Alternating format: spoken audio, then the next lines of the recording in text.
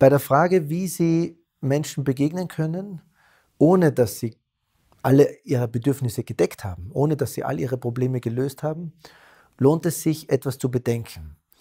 Wenn man Menschen begegnet, dann kann man das vom Herzen kommend her. Das heißt, sie wirken unsicher, sie wirken unschlüssig, sie wirken zwar sicher, dass sie gut sind, so wie sie sind, aber es wirkt so, als hätten sie nicht alles durchdacht.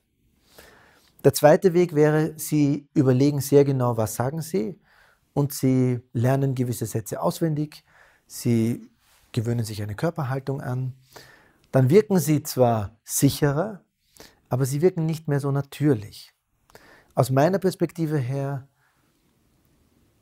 ist es näher, ist es menschlicher oder kann man ihnen näher kommen, wenn sie das, was sie tun und das, was sie sagen, wenn das vom Herzen herkommt.